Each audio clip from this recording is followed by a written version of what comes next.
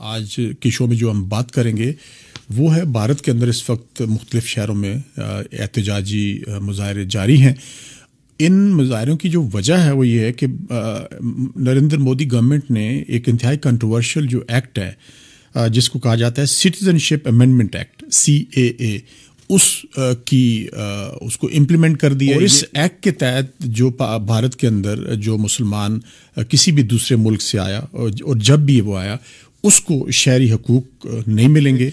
भारत एक nationalist Hindu state तो बन चुका हुआ है लेकिन आप एक इंतहाई इंटॉलरेंट मुल्क के तौर पे वो सामने आ को जो लास्ट बास्टन था लिबरल जर्नलिज्म का इंडिया के अंदर वो उन्होंने उसको भी न्यूट्रलाइज कर दिया। सेकेंडली उसने जो इन्फ्लुएंशियल वॉइसेस थी भारत के अंदर जो सिविल सोसाइटी की उनको ब्राउबीट किया उनको परसिक्यूट किया उनको भी न्यूट्रलाइज कर दिया।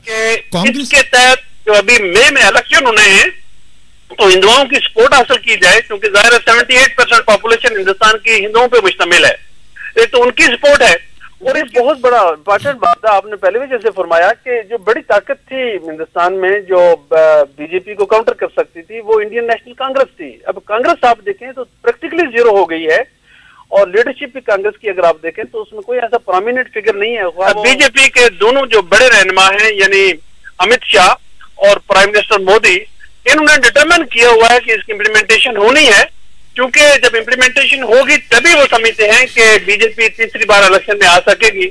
और हिंदुस्तान का जो नक्शा है जो उन्होंने बनाया हुआ है हिंदुत्व के तहत तो उसकी इम्प्लीमेंटेशन हो सकेगी। तो जब कश्मीर के हवाले से हमें कोई बहुत ज़्यादा फोर्थ कमिंग किस्म की इंटरनेशनल कम्युनिटी नहीं आई है ओआईसी बहुत ज़्यादा फोर्थ कमिंग नहीं है तो फिर हिंदुस्तान के मुसलमान तो उस हिसाब से अगर आप देखें तो वो हिंदुस्तान की आबादी है।